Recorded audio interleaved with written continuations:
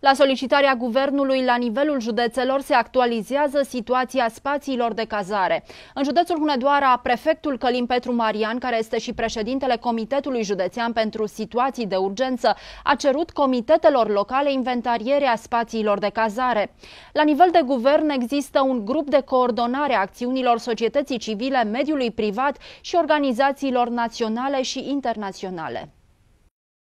Primul ministru Nicolae Ciucă mulțumește voluntarilor și tuturor celor care participă la sprijinul pe care românii îl oferă cetățenilor ucrainieni. În județul nostru, conducerea prefecturii a solicitat în regim de urgență celor 69 de orașe și comune să actualizeze situația spațiilor de cazare.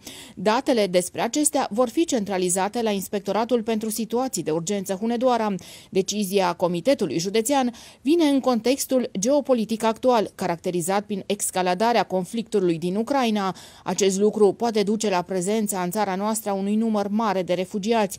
Pentru a veni în sprijinul celor afectați de război la nivelul cancelariei primului ministru, există platforma Ucraina împreună ajută mai mult.